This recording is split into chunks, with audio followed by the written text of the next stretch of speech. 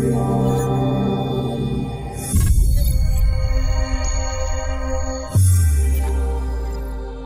Welcome back to another episode of Addicted to Gear, everyone. Today we're looking at part two of my review of the Mighty Air from NUX. This wireless Bluetooth speaker is quite impressive for anyone who wants to have the ability to play music pretty much wherever you may be, whenever the urge strikes you to play.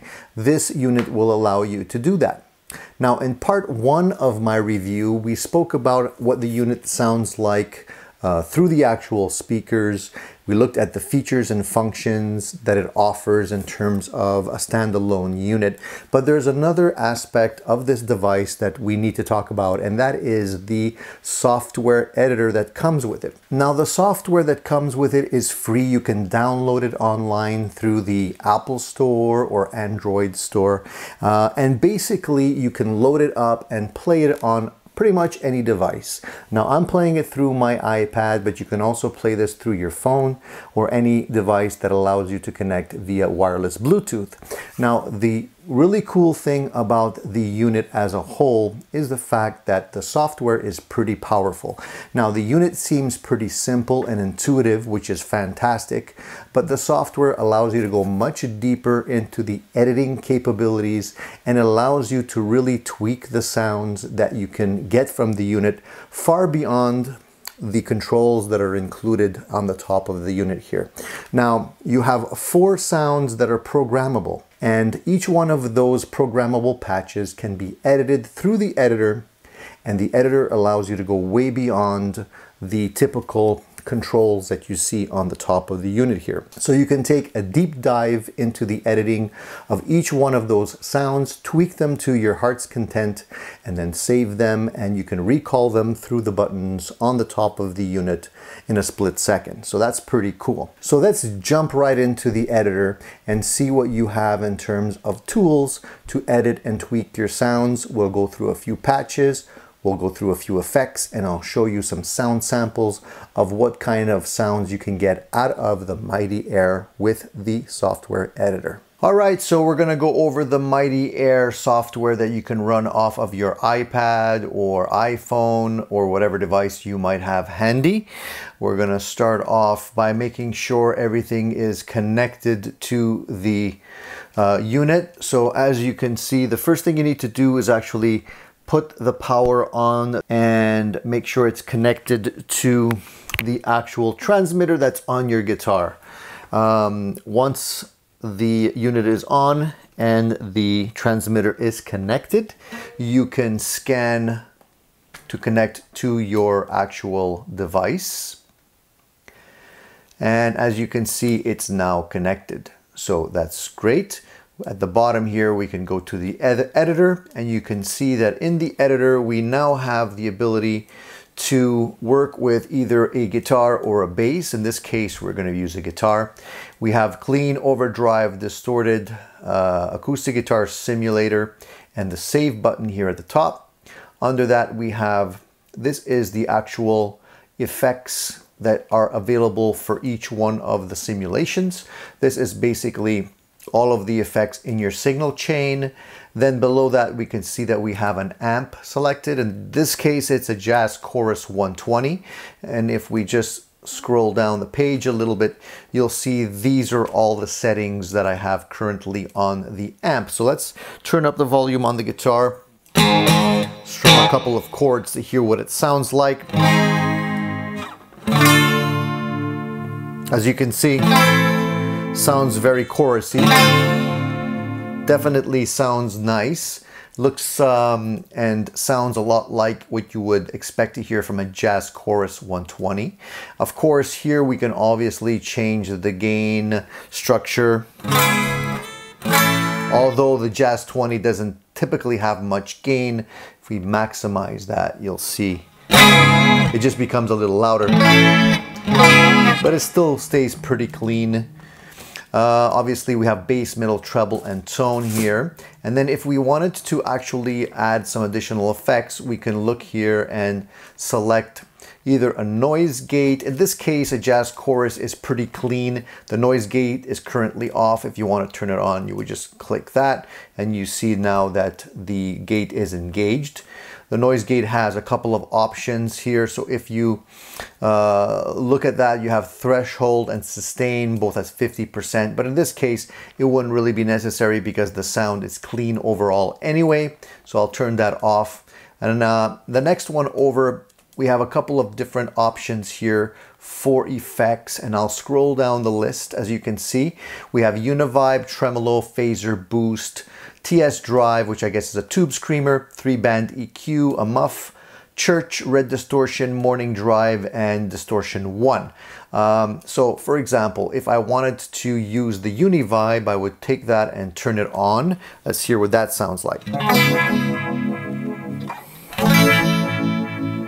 Definitely gives you that nice swirly effect. Obviously you can play with the the rate and the depth.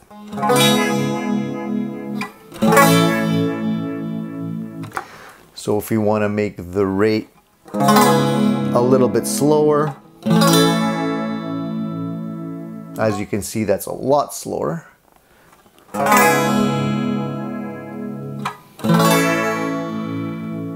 Pretty nice sound.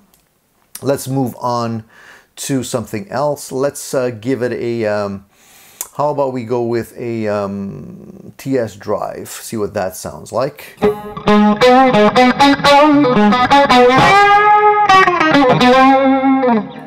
Now, I don't think the TS Drive uh, and the Tube Screamer make a very good match, but I just wanted to show you what that gives in terms of uh, sounds.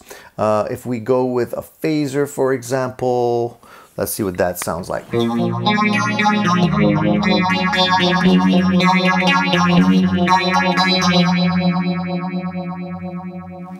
Pretty nice sounding. Uh, let's give the bring the rate down.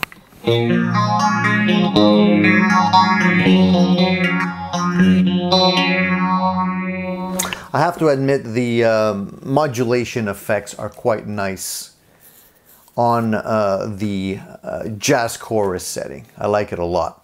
Uh, well, I'm just going to briefly show you what the IRs are. So the IRs basically if you want to load your own impulse responses, you have a bunch here and they're different cabinet simulations from uh, the jazz chorus to the V69 uh, the DR112 and the V412. In this case, for the jazz chorus, we obviously selected the jazz chorus, but you can change that if you change it over to some other type of cabinet simulation.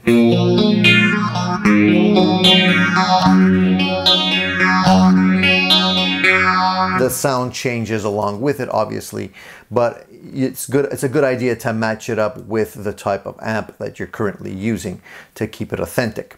All right. Then next we have modulation effects. The modulation effects speak for themselves. Obviously, here we have phaser, chorus, flanger, and vibe. Uh, let's listen to just for the heck of it a flanger sound here.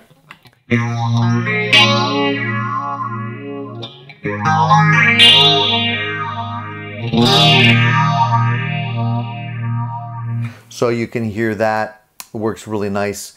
And maybe for the heck of it, we'll put in a tremolo. So if we want to, let's hear how fast or how slow we can put the actual rate here. Put it to 100.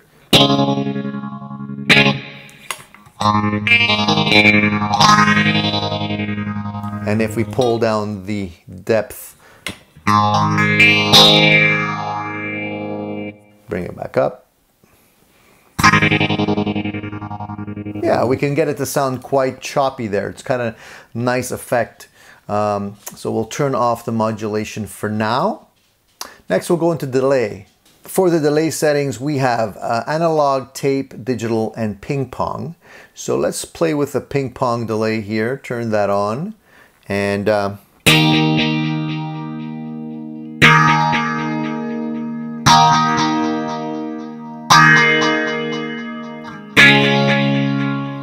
Pretty cool. I like that a lot. And here, uh, one thing about the delays that I should tell you or mention is that you also have the ability to adjust the time just by clicking on the delay. So if I tap slower,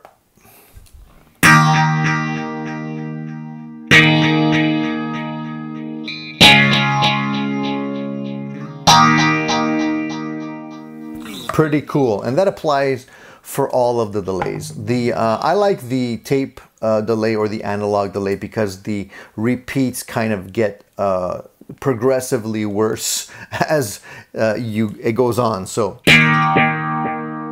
as you can see, it's not as pristine.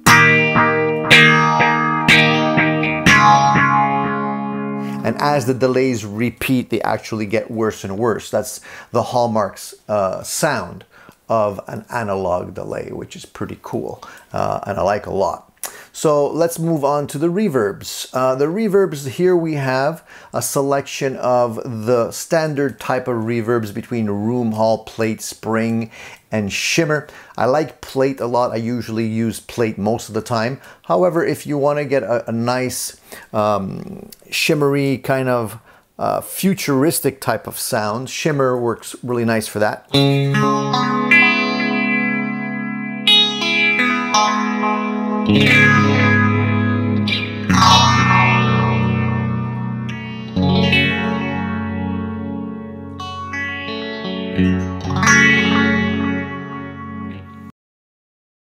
Higher up in the mix.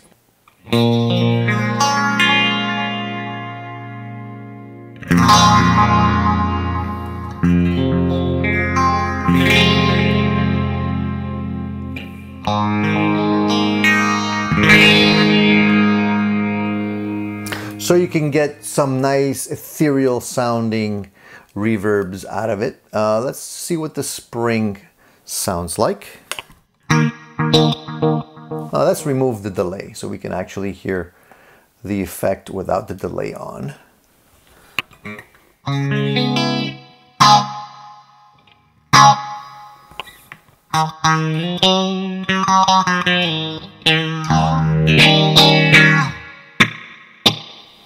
So you can hear the spring. I usually like leaving it on plate because plate to me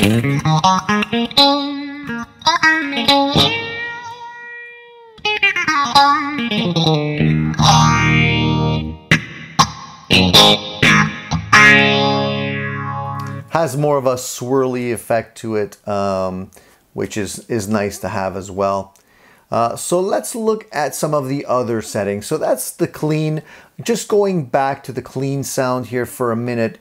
If we go back to the amp, we also have a couple of other amps here. We have a twin verb. Oh, the level's quite hot here.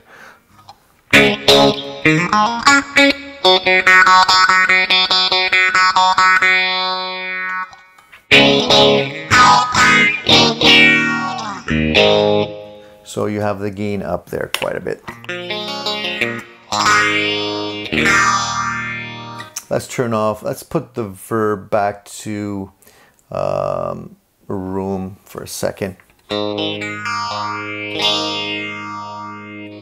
And we're gonna go back to the amps and try out the uh, Tweed Deluxe.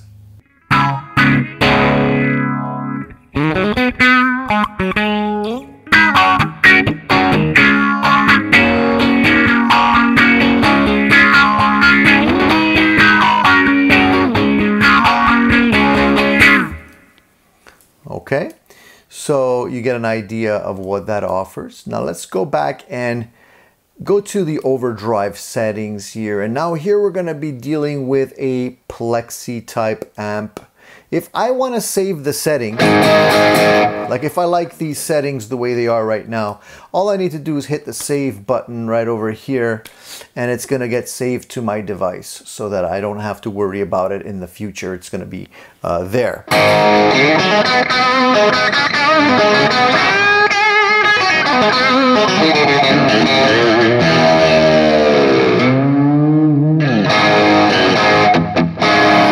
Now this uh, effect is using the gate The amp is the Plexi. It's the IRs on this one are using the Greenback 412 cab. That's the one I want. Um, and the delay is on. I'm using an analog delay and the reverb is on spring. I'm actually going to change that to plate.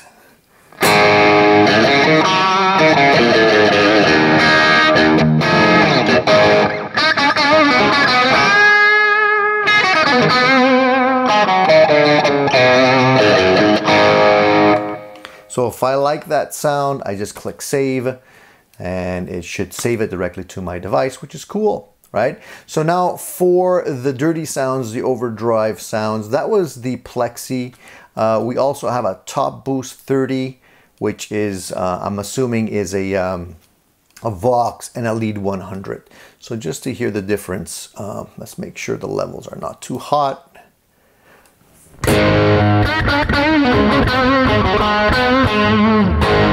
So that's definitely a fatter sound. And if we go to the top boost, make sure the level's not too hot, much thinner. We can hear that.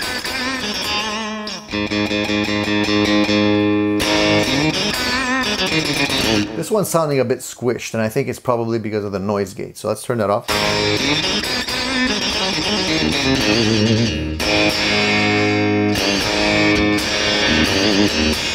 No, it's actually not because of the noise gate. It's because of the sound itself. Uh, let's go into the IRs. Uh, let's see what we have there. We have, so maybe we can try a different type of cabinet on that. Let's do the 112, see what that sounds like.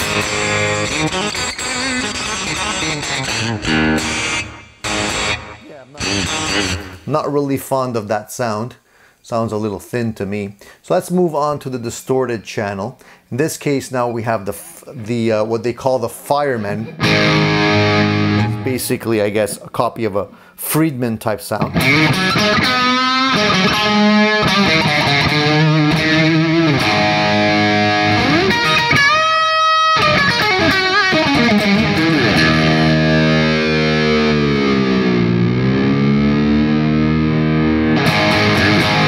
Like that a lot. Very nice sound. All right, then we also have the Recto and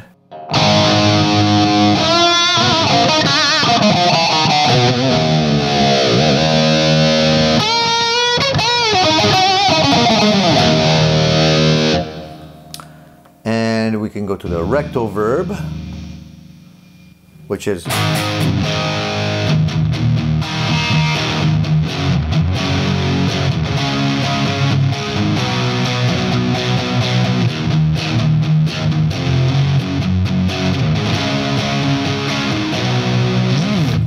Interesting sounds, not bad considering I'm playing on a Strat. Uh, let's go to the acoustic simulators now. The acoustic simulations are basically going to give you that acoustic type sound or going to try to give you that acoustic sound uh, uh, anyway. I'm going to play it on the middle pickup.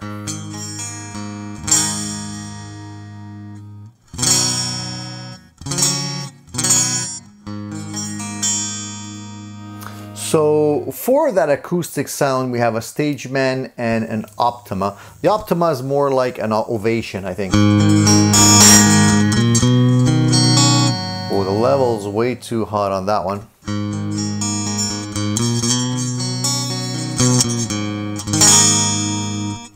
And if we look at the settings here, the bass, middle, and treble are pretty much even.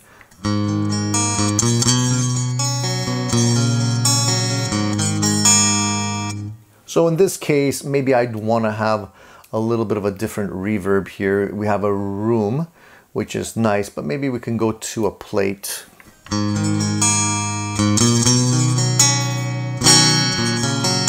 And maybe we can use a little ping pong uh, delay. Let's try that.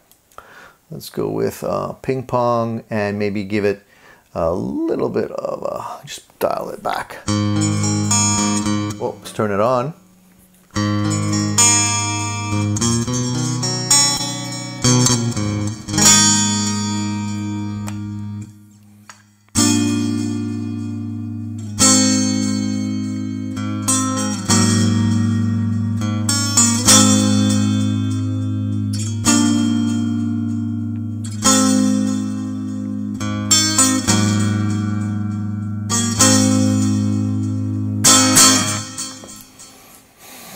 Right, so let's give, uh, let's go back to the acoustic simulations and let's go back to the Optima here. see if we can play with this one a little bit.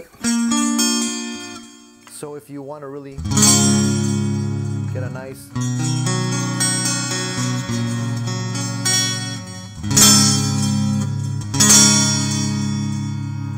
You would probably want to use an effect as well on this one. Maybe if we go to see the IR in this one is the MD45EG magnetic, but we have different uh, settings here.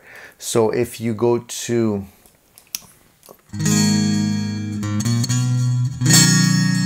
something like that, sounds very different than this one.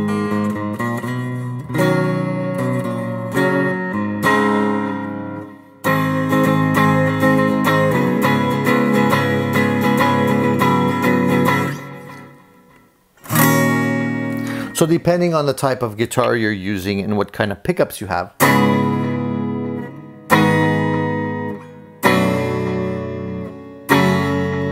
you can definitely select the sound that matches your guitar.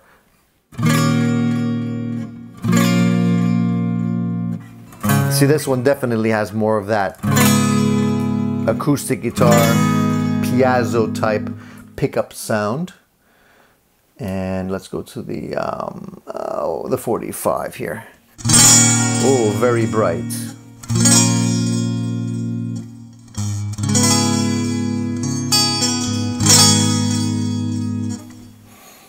So you see you have quite a bit of variation there when it comes to the acoustic simulations as well and playing around with the reverbs, the modulations and also maybe putting an EQ in front of this would be able to give you a really nice sound overall.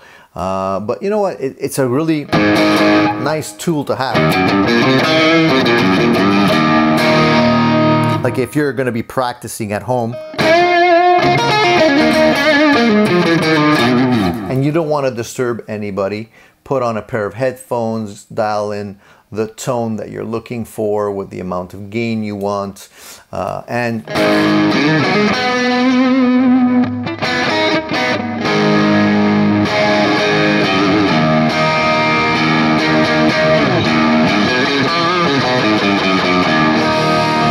pretty much in business. And since I'm playing an, uh, a, a Strat style guitar,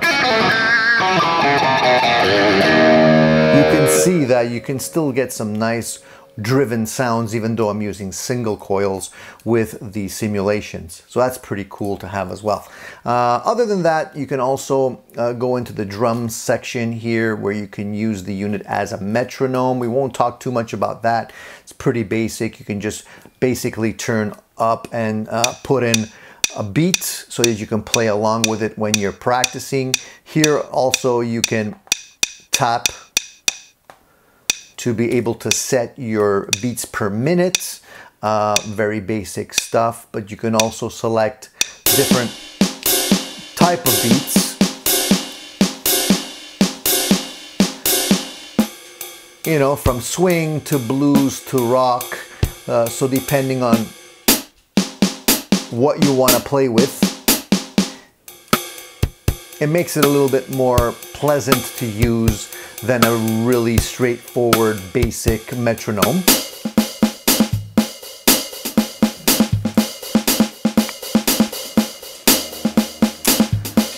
All right, and then, well, that's enough of that. And then we can go to the jam track section and here you can basically load up the default uh, jam tracks that you can play with. They have Thrill Disappear and uh, you can also load your own stuff. So here if you want to play along with something. The funny thing is when you're using the jam tracks, you don't hear it through your headphones, you hear it through the speaker of the, uh, the iPad for some reason a little bit strange that it does that. Uh, but you know, if you play along with it, you hear your guitar through your headphones. So I'm not sure why it does that, but that's the way it's set up. And then you could load your own music as well to be able to play along with that. So it's a pretty nice, nifty uh, unit to play with. When you're playing the jam tracks, you can also have access to the editor so you can change the sounds as you wish while you're playing and go between your clean sounds and distorted sounds. So I can't speak for you guys, but I'm pretty impressed with the sounds and capabilities that you're able to tweak using the onboard software editor within the Mighty Air. In my opinion, the Mighty Air is a great standalone unit, but it shines even more when you're going directly through the unit and playing the sounds right into your recording device, your laptop, or whatever you're using to record your sounds. You can take full advantage of the great stereo panning effects that it offers. And in my opinion, the sounds generally sound a lot bigger and nicer than when it's just being uh, played through the actual speaker. So the speaker is great for anyone who wants to practice, who wants to have the ability to play when you're on the road or you're moving around. That is a great option, but I feel that the sounds on the Mighty Air are way better when you're going directly from the unit right into your recording device and you can actually get some pretty good uh, demo recordings right from the software that's included for free with the unit. So if you're interested in checking out the NUX Mighty Air for yourself, I'll put the links down below to where you can get one. You can also visit the NUX website and get all of the technical information on the product, as well as download the latest firmware updates because there have been a few since they released the unit. You do definitely want to do that first before you play with the unit so that you have the latest and greatest updates and you can avoid any issues or bugs. So guys, thank you for tuning in to another episode of Addicted to Gear. If you like the content that we're presenting here, please give me a thumbs up. Consider subscribing and hit the little bell icon. If you have any questions or comments regarding the product that we've presented here today, please leave your comments down below. I'll be happy to answer all of your questions. In the meantime, stay tuned, keep rocking, more great stuff coming your way.